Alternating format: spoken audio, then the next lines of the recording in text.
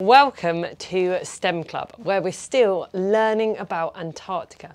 And in this week's video, we're going to learn all about how Antarctic animals keep warm. So let's have a look at some of these Antarctic animals and see if you can spot any similar features of them. One thing a penguin has is feathers. And the way we're going to show how feathers help keep a penguin warm is by using a covering on the feathers. So I've got a wax crayon here and I've got a grey one, but you might like to use a white one. And I've printed off a sheet from Twinkl. And all I'm going to do is colour in my penguin all over its tummy with my wax crayon. And so let's do that and then we can see how that helps keep our penguin waterproof and warm and dry. Here's our penguin all coloured in, so you can do exactly the same at home. And then we're going to see how waterproof it is by spraying some water on and seeing if we've made our penguin any more waterproof. So here's my coloured water spray. And we're just going to give our penguin a spray. You might want to put it on the wall and see what happens. Oh, wow. You can see all the water, this is really cool, It's just running off our penguin. Our penguin is not wet at all, it's just making my table wet as all the water runs off. And this is exactly how penguins' feathers work that helps keep them warm and dry in Antarctica. Because we're scientists, we always want to do an investigation where we change something to see what might happen.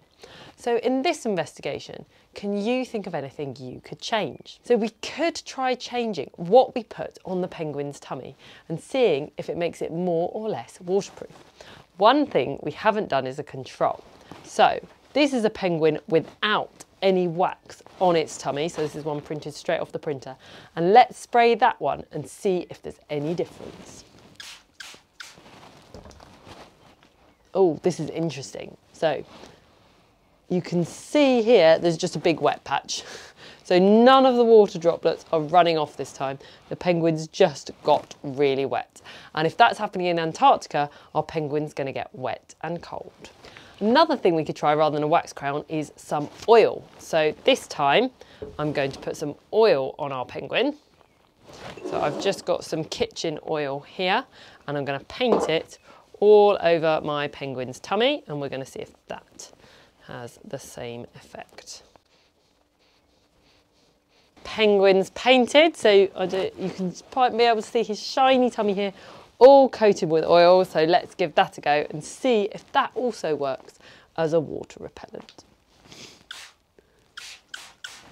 Oh yes, oh look. so all the water droplets are just running off the penguin, dripping down. You might be able to see all the drops. So this has worked really well as well.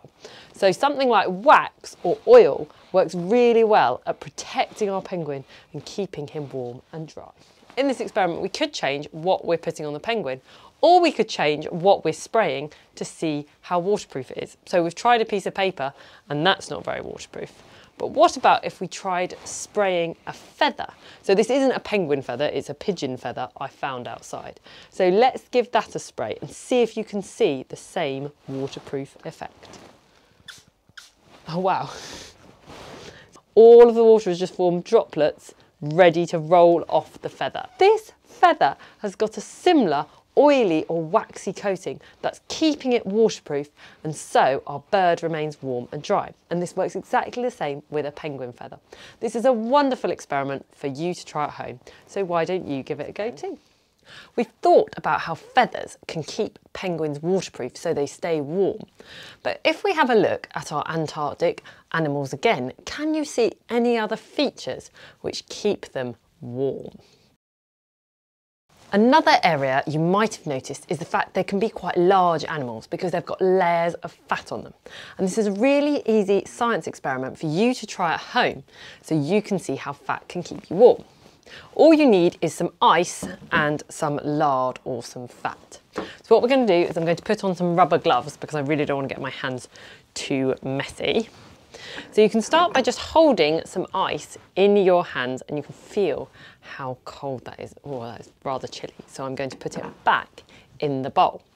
Then what you need to do is just like a polar bear or a seal or even a penguin in the Arctic and Antarctic, I'm going to cover my hands in lots of lardy fat. There we go, I'm just going to cover my hands in it. So these are what animals have lots and lots of layers of fat on them to help them stay warm. And this is really fun because you can actually try this out at home.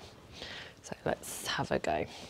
So once your hands are all covered and your gloves are all covered, you can then try holding an ice cube and seeing if you can still feel how cold it is.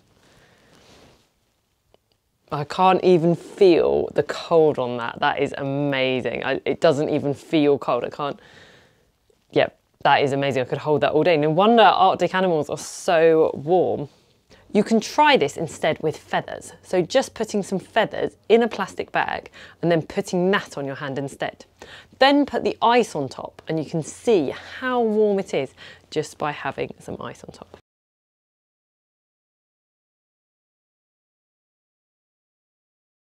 Thank you so much for joining us today for our Antarctic STEM Club, learning all about how animals stay warm in these freezing cold environments. If you've enjoyed this, don't forget to look at our other STEM videos and do let us know how you get on with our STEM experiments by following the link below to share in our Facebook group. We look forward to seeing you again soon for more STEM fun.